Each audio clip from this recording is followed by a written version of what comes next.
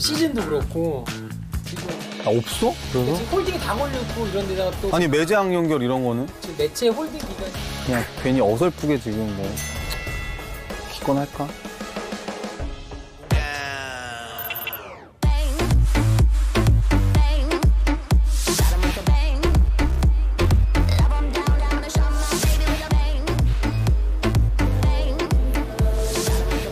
준비 잘하고 계신 거예요?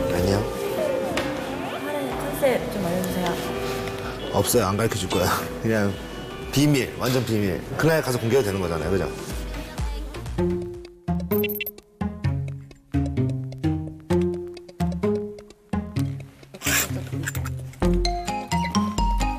진짜 사람들 있어서 저를 주목하는 걸막 부담스러워하는 스타일이어가지고 맨 처음 방송할 때도 그런 것 때문에 아 못한다 그랬었고 근데 내일은 완전 모든 사람 앞에서 제가 뭘 다 해야 되는 거기 때문에